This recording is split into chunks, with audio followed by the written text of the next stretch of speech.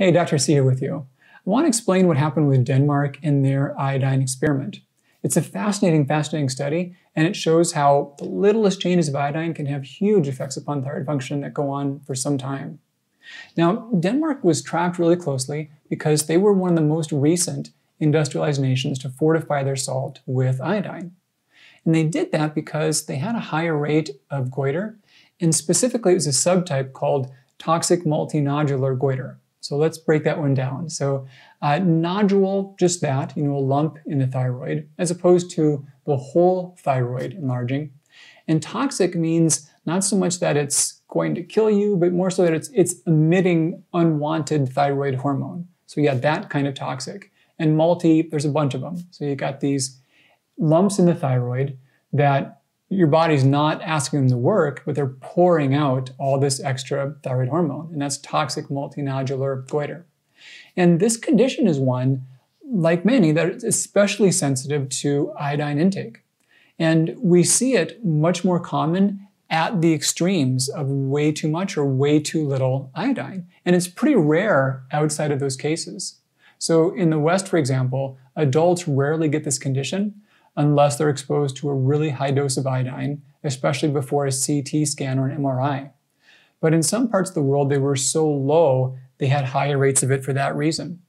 And going into this experiment, they had some data from the late 90s. Uh, this, this, the condition probably got to be its worst at about 97. At that point, ironically, I, I double checked, I wasn't just copying the numbers. In 1997, their rate was 97.5 cases per 100,000 people. That was about the worst of it. Prior to then, in 1991, it was about 18 cases per 100,000. And what they thought was, yeah, why did it go up so much over those years? And they weren't sure what the clear reason was, but they thought that iodine fortification would be helpful. So they did, and they tracked it. And after things were all said and done, the rates went down from their peak in 97 but they were still way above their low level in 91. So they went from 18 in 91 to 97 in 97. and then uh, by the end of the process, when things had leveled out in the early in the early 2000s, they were down to 48. So yeah, not a clear win. And they also found that many other things also affected those goiters. One of which is that genetics were a big part, but also alcohol and smoking were large reasons for that, more so than they thought. But because they were aware of pitfalls, they wanted to look at goiter, but really all types of thyroid disease. And they were so smart, they were so deliberate and cautious in how they went about doing it. So they only, they, their intent was to raise the average intake of iodine by about 50 micrograms per day. And there was a lot of thought that went into that. You know, it wasn't like an easy thing to do. So the final, the final tally, what they did was there's a certain type of salt used for Danish rye bread. And they chose to fortify that salt with just enough to get the average intake up by 50 micrograms. And so many Danes have the Danish rye bread on a daily basis, that seemed like a really predictable, controllable way to do that. Now, they did a lot of monitoring to see how this would affect people. So they did this in three different ways. In the first one, they took a group of people in different areas that had different amounts of iodine going into it. So some areas were lower than others. And they were then compared to a similar group, uh, to similar groups after fortification had stabilized and each year during fortification. What they also did was they looked at the overall rates of all types of thyroid disease throughout the country and where that was beforehand and how that played out in the following years. And this was done with over 550,000 people living in those same areas.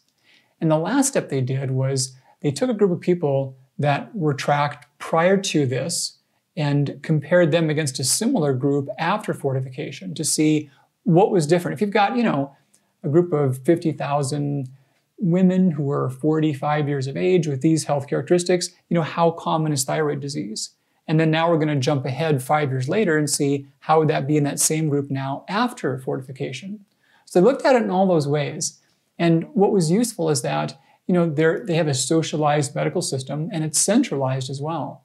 So, you know, push of the button, they can get numbers on all these rates of various changes. And they looked at that in terms of how often the disease was diagnosed, how much was spent total on various thyroid care, how often prescriptions were made for thyroid medication, how often procedures were done for thyroid, like uptake scans, and how many thyroid surgeries were done. So all those variables were looked at.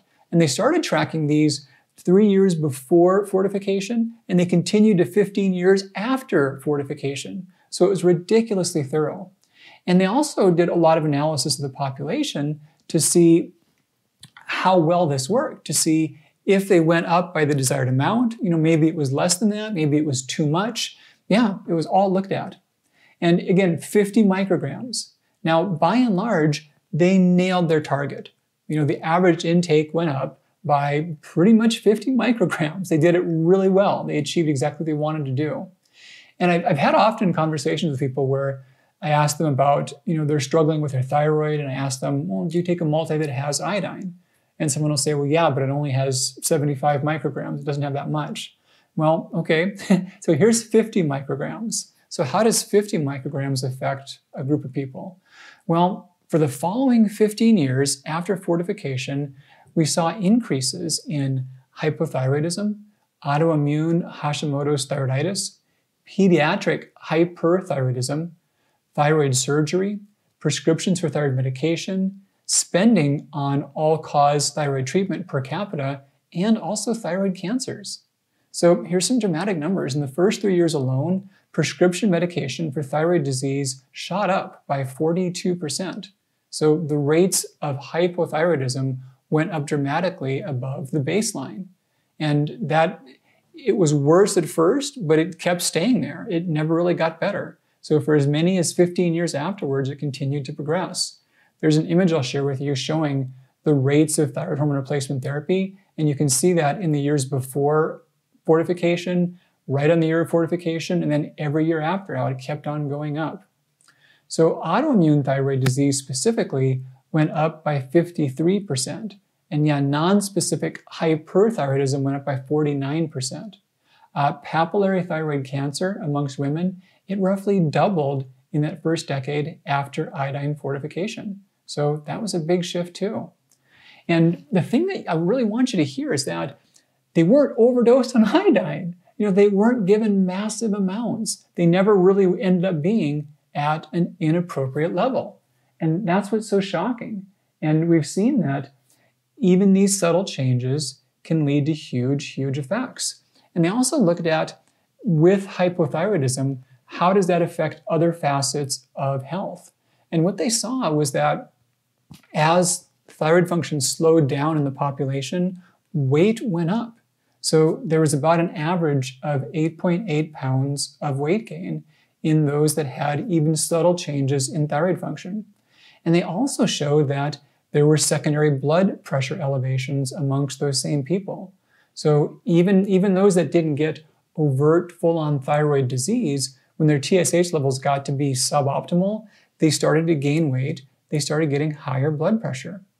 What they also saw was that in the past, Denmark had a tendency to see stronger thyroid function with age. Like TSH scores would get a little bit lower for people each decade of life. Now, again, some would get toxic multinodular goiter and it would go far too low, but in general, most people were not lapsing into hypothyroidism like they do in the West. Here, high TSH scores get more common with age. In the past in Denmark, it was the opposite. The TSH scores stayed stable or they drifted down slightly. But after iodine fortification, the opposite happened. We started seeing gradual increases in TSH that correlated with age. And this was, this was common. So it was a complete shift. So what are the things we can learn from this? Well, what we learned from Denmark was that before and after iodine fortification, the lowest rates of thyroid disease were in populations that were about 50 to 100 micrograms per day of iodine. Now, in general, most people can safely consume up to about 200, but if you're struggling with thyroid disease, being a little lower than that is where things often get better, and the study confirmed that. We also saw that changes, not, not just the excess or the deficiency, but changes as little as 50 micrograms can precipitate thyroid disease. We also saw that goiter is more common with iodine excess and severe iodine deficiency, but even those minor excesses can trigger it. And they also learned that goiter was more strongly affected by alcohol, tobacco, and genetics, that the iodine alone didn't make a great difference on correcting it, but it did raise the cost per capita for treatment of thyroid disease. More people were being treated, there was more expenses that the government as a whole was spending, and thyroid cancers, hypothyroidism, autoimmune thyroid disease, these things all went up and they've continued to remain elevated. So little bits make a big difference. And Denmark taught us a lot. We got massive amounts of data from their experience. All right, take great care. I'll see you again real soon.